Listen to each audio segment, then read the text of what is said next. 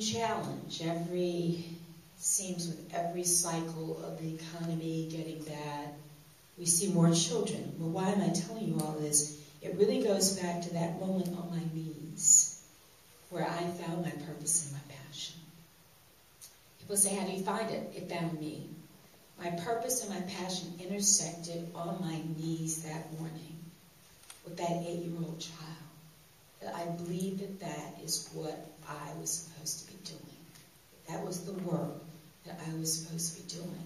And so today, I just come and tell you that, that because you have chosen this work, that just remember that you have a chance to touch lives, that you have a chance to invest in lives. Maybe not an eight-year-old child who's been abandoned, but maybe a 20-year-old who just doesn't know what to do. Maybe it is someone who has lost their way. Maybe it's somebody who is doing exceptionally well, but still needs to be encouraged. Whatever the situation is, more than anything else, I've come to say thank you. Because you didn't have to do it. You didn't have to do it. But you've done it. You continue to do it day in and day out. And so I thank you. I'm going to end by telling you my grandmother's favorite song when I was growing up. It was Walk Together Children. Don't you get weary. Run on and see what the end will be. I mean, that's really it. And I say walk together. I'm going to paraphrase it, my brothers and sisters. And I say brothers and sisters without regard to race or religion or culture. Because we really are all brothers and sisters in the important work of uplifting and educating people. And so I say walk together, my brothers and sisters, and don't you get weary. I mean, I know there's a kid who comes into your office, sees you in the hall, plucks your last nerve, Okay, come on now, y'all gotta be honest about it. You know it happens. You know it's like if they come back in here one, if they stop me on my way to my car on a Friday afternoon when it's pouring down raining, I'm trying to get home.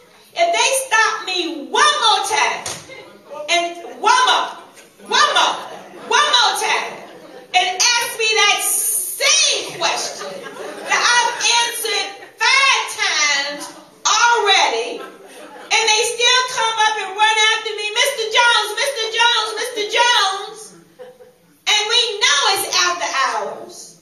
And then they're going to hold me up for another 45 minutes, telling me all the other problems that they got, not to mention their cousin's problem. You know it's true. You know I'm telling the truth. Because I know because I've done it. Mr. Jones, let me just ask you one more thing. Because they didn't come and do what they were supposed to do. They didn't do what they were supposed to do. But you know what? For all we know, that student's mother is dying of cancer. Didn't get to come by to fill out the paperwork they should have done didn't do what they were supposed to do because the mother that they love is terminally ill. Or they're working a job just so they can stay in school and worked until 2 a.m. last night.